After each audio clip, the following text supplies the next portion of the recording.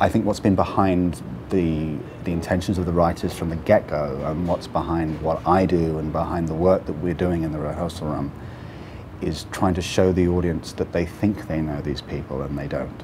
There's nothing else out there telling this story, especially this tapestry of stories. It's like Amelia Earhart and Lindbergh and the Wright brothers. It's three stories that interweave with each other, and, and they're all separate stories, but they also all come together for, for really amazing reasons. There are aspects to each of the characters and each of the stories that show the human being behind the icon.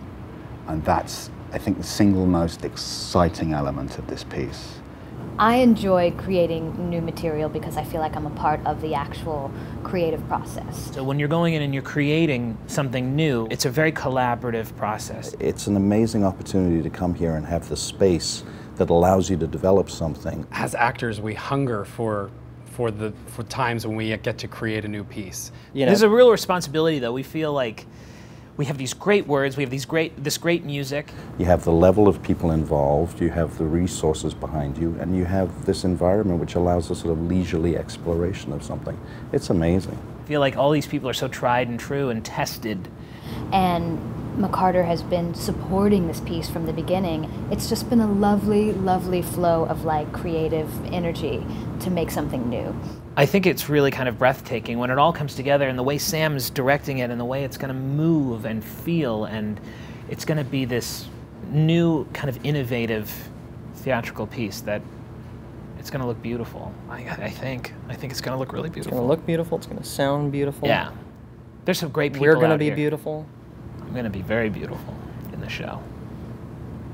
We're getting the opportunity now you know, to create something brand new that nobody has done, nobody has seen before.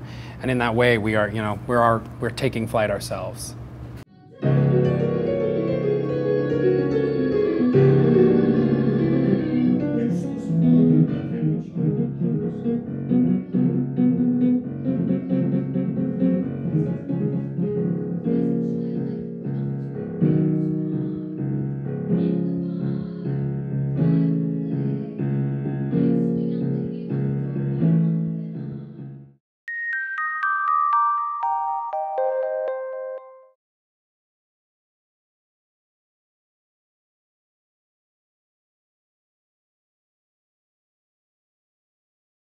It's good.